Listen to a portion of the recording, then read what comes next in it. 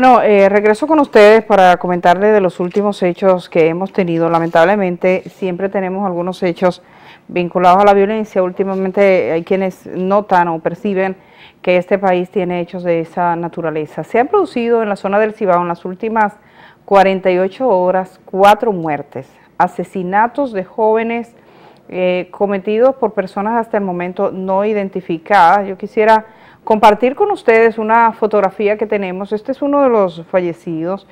Eh, primero mataron dos jóvenes en Navarrete. Eh, esos dos jóvenes fueron asesinados. Hay una, fotografía de unos jóvenes con una camiseta roja. Esos dos fueron asesinados el pasado sábado. Estaban en su casa. Uno de los muertos es Edison Rafael Francisco Perdomo, el de mayor edad, tiene 33 años quien residía en la calle primera del sector eh, de, Navarrete. Y también eh, ese murió, recibió varias heridas de armas de fuego en distintas partes del cuerpo. El otro eh, que está ahí a su lado es un menor de edad, Eric Disla García, 17 años, que murió también. Y resultó herido un joven de 23 años en esos hechos. Posteriormente, en el día de hoy, tenemos al joven que tiene la la camiseta blanca, ese joven eh, que dice descanse en paz, que los amigos crearon, es uno de los que fue asesinado esta madrugada en Licey.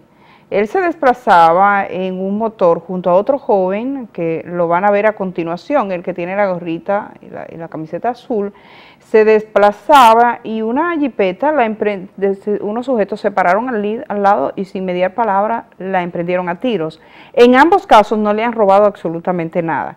En este caso escuché que alguien decía que se, que se trata al parecer de un ajuste de cuentas, es muy triste pensar que una gente tan joven tenga tantas cuentas. A mí el término ajuste de cuentas generalmente me resulta, eh, me, me, molesta porque pareciera justificar que de ese modo se ajusta algo y eso no hay ajuste que valga cuando se trata de la vida de la persona. A Neudi Amarante, eh, de 23 años de edad, ese joven que resultó herido y se encuentra en un centro de salud. Eh, eso es el caso, como ustedes están viendo, eh, lamentable de cuatro jóvenes. Todavía es pronto para saber de qué se trata. La policía no ha dado los resultados, pero ambos en Navarrete y en Licey en menos de 48 horas con características de crimen muy similares, atacados y no se robaron nada, no había una pretensión de, de tomar nada, sino que fueron en un caso donde estaban ellos y en este caso cuando se desplazaban. El trabajo de la policía investigar qué fue lo que pasó ahí. Yo quisiera eh, compartir con ustedes lo que dijeron dos senadores. Mañana es la reunión del Comité Político del Partido de la Liberación Dominicana. Hoy estuve entrevistando al vocero, al portavoz de los diputados del Partido de la Liberación Dominicana, el Pidio Báez. Y el Pidio, que aspira a ser eh, tomado en cuenta para dirigir la Cámara de Diputados, decía que el comité político tiene que controlar eso, porque en caso, en caso que dejara libre la elección del bufete directivo de la Cámara de Diputados o del Senado de la República, el clientelismo arroparía. Que si llega un presidente de una Cámara de Diputados sería eterno, porque como administra los cuartos, andaría pagando. ¿Usted sabe lo que es eso? que dice no, no se puede, que es mejor que sea el comité político. A mí la visión de que sea el comité político me parece profundamente antidemocrática, en el sentido literal del término. Usted piensa y dice, bueno, eh, ¿quiénes escogen aquí a, los, a los funcionarios públicos eh, como un legislador, que es por voto de la población? Bueno, lo escoge el pueblo. Y el pueblo deposita su voto, su confianza y su autoridad en un sujeto que al final tiene un partido que es el que ha decidido ellos armar su comité político ellos, sin que nadie le vote, porque el comité político es ellos, su estructura. La estructura de ese partido sirve más que la legitimidad que te da el voto. Y entonces te dicen, no, lo que pasa es que esos son proclives a coger cuarto. Cuando te dicen eso es una cosa bastante seria, que no puede dejarse en manos.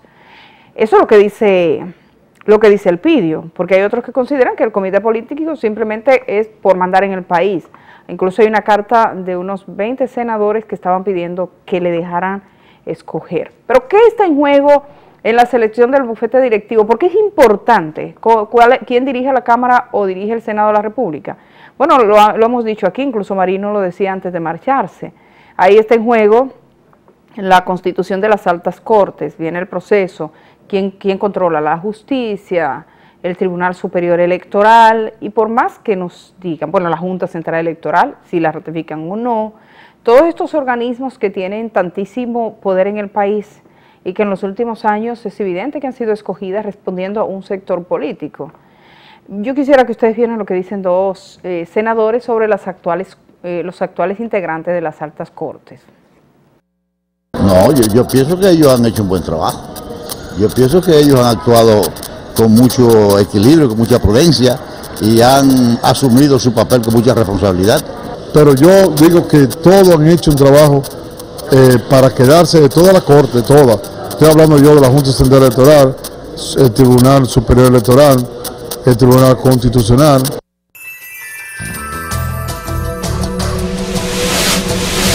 A mí siempre me gusta relajar un poco el programa los viernes, porque digo, bueno, es viernes, uno está cansado, escuchando cosas serias toda la semana, vamos a poner música, vamos a divertirnos un poco y vamos a meternos en la rumba ya del fin de semana. Esto hubiese sido un corte adecuado para eso, para el fin de semana, ponérselo a ustedes como un, mensaje de relajación y de chiste. Decir, ay, mira, qué chulo, ha trabajado la Junta Central Electoral, qué bien lo hicieron, aplauso, aplauso, que lo hicieron, fue un palo, ponerle ese senador y después ustedes aplauden. Eso estaba correctísimo para un programa de comedias o un programa así, que este, aunque no es de comedia, dicen que yo tengo un poco ocasión para eso, pero no es de comedia, es un programa serio, los viernes se relaja un poco. Lo que pasa es que no puedo esperar al viernes sin compartirlo, porque entonces pierde vigencia, lo dijeron ahora, y no lo dicen como un chiste, ellos se lo creen. Le puede pasar lo que le pasa a los niños, a los padres con algunos niños que se ponen a dormir al niño haciéndole un cuento y se duerme el papá y los niños quedan despiertos, porque yo no creo que nadie en el país piense que esa gente ha hecho lo correcto, solo estos que están ahí hablando. Entonces eh, se, queda, eh, se queda dormido el padre, el que está haciendo el cuento, y los niños siguen despiertos. Bueno, pues este pueblo está despierto con eso y estos senadores siguen soñando en esa ruta. Hablan de ratificación, una ratificación que le había prometido, por ejemplo, el eh, secretario general del PLD, senador por el Distrito Nacional, Reinaldo Pared Pérez, a la Junta Central Electoral, que desde cualquier punto de vista era increíble que eso se produjera en un sistema democrático, porque estaban organizando unas elecciones.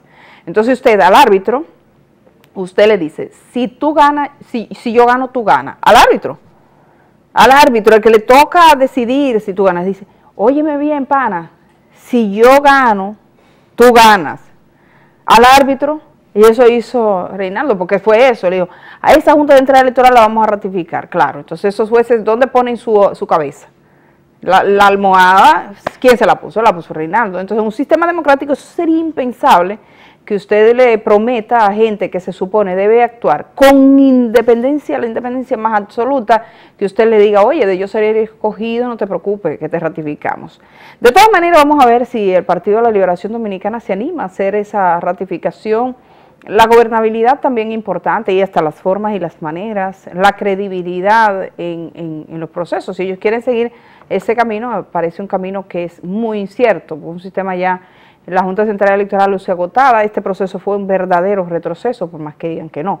Hoy había una protesta en Santo Domingo Este, esa protesta ha fracasado, pienso que no tiene, no tiene la, estructura suficiente y necesaria como para lograr una, un paro de la naturaleza de la planteada. Si hay muchas inconformidades y creo que los candidatos a síndicos de los diferentes partidos de esa jurisdicción son los que en todo el país han mantenido más vivo el cuestionamiento a un proceso que estuvo lleno de, malas artes, por donde quiera que usted lo vea.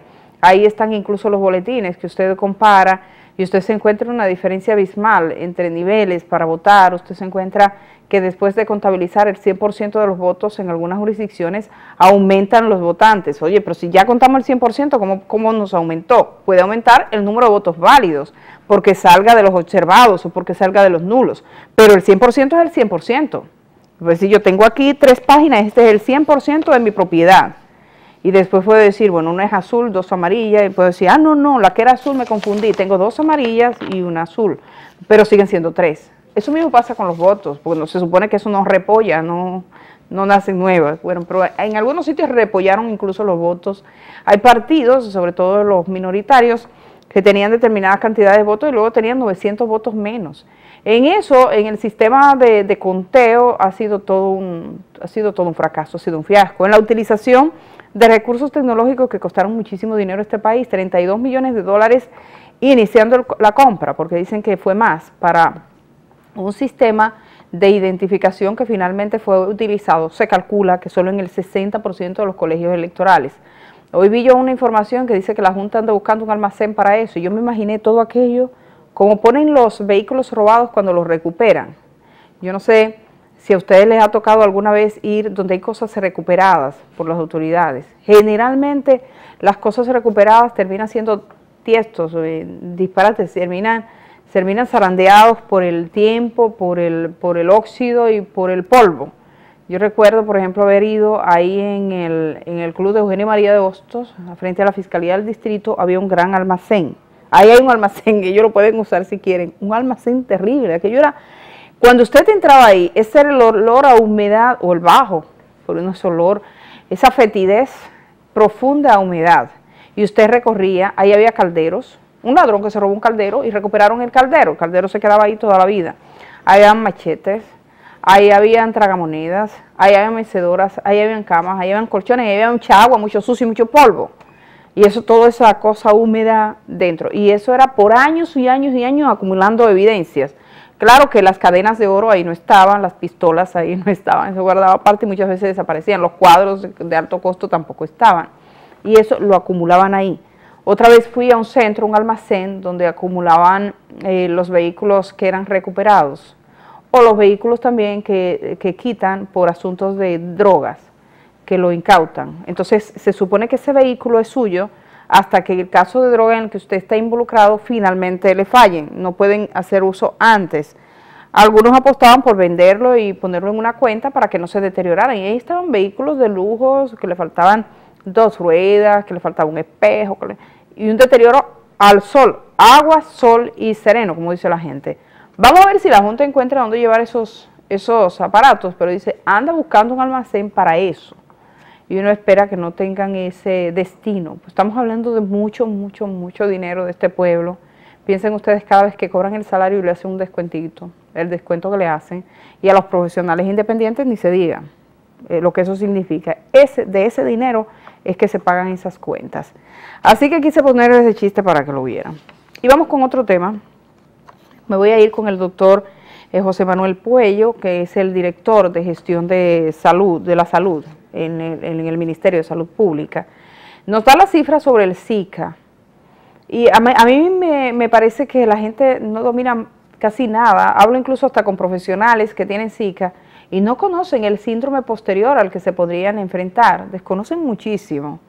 No saben eh, cuáles son los síntomas, si usted tiene Zika, cuáles son los síntomas que le dicen a usted que está entrando en un estado grave y que debe buscar ayuda inmediata. Como el Zika pasa así ligeramente, hay incluso mujeres embarazadas que ni lo notan. Eso es uno de los riesgos, las mujeres embarazadas, sobre todo en las primeras ocho semanas. En este país ya nació una niña con deformidades, una bebé con deformidades, eh, y se cree que está vinculado al Zika, le están investigando ese cerebro pequeñito, esa reducción que se ha dado en países como Brasil, en algunos países de América Latina. Este es el tiempo de comenzar esos nacimientos. Estamos diciendo que tiene que ver con la llegada del mosquito. El mosquito llegó a República Dominicana hace poco más de 7, 8 meses, 9 meses. Entonces ya las, las jóvenes, las mujeres, sean jóvenes o no, que estuvieran embarazadas para entonces, se embarazaran para entonces, podrían estar presentando eh, los partos ahora. Este es el primer caso que tenemos y la madre no sabe qué hacer. Vamos a ver qué nos dice el doctor José Manuel Puello sobre la contabilidad de los casos de Zika, incluyendo a las mujeres embarazadas, y alertar a las mujeres embarazadas que tienen que tener mucho cuidado, sobre todo en esas primeras semanas. Se han notificado en forma acumulada 4.130 casos sospechosos de enfermedad por el virus Zika, que incluyen 616 embarazadas que han presentado síntomas entre en el primero y en el segundo trimestre del embarazo y 187 casos de síndrome de Guillain-Barré asociados en relación a la enfermedad por el virus Zika.